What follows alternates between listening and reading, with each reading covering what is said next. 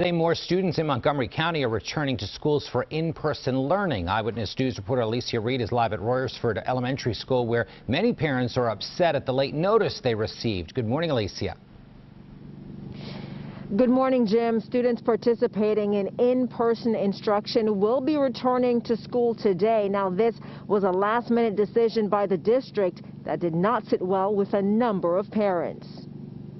There's a lack of consistent communication from you who decided to make you king to overrule the entire board and say, people, you know, stop having kids go to school today. Backlash from parents taken aback by the Spring-Ford School District's decision at the 11th hour. I know a lot of people were upset by that. I know there were a lot of people thinking that we were changing course and suddenly we were, the board was going to become, virt, you know, go, move virtual. The plan for in-person instruction was approved back in October, but with the rising number of COVID-19 cases, family weren't sure what direction the Spring-Ford School District would take. I think maybe we could have done this in a different format. School Superintendent Dave Goodin recognizes the significant increase of COVID-19 cases in the Spring-Ford area, but with virtual classrooms at capacity, he says the goal is to reduce the number of students in each class, which will lead to a better learning environment. When students return to school today, desks will be separated by a minimum of five feet. I did have our maintenance go through last week and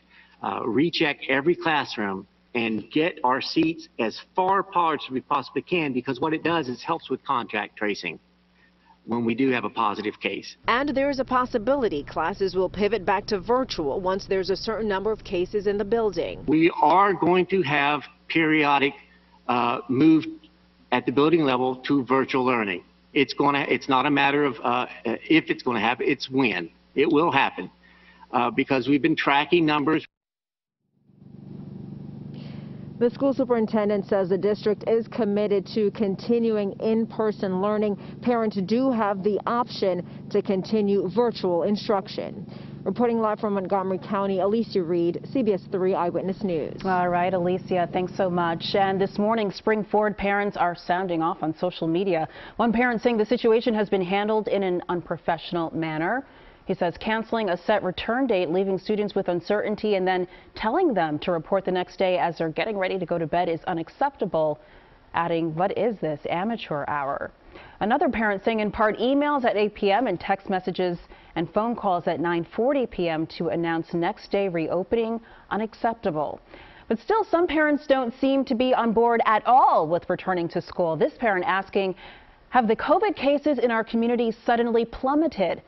If not, why are we putting people back into buildings again?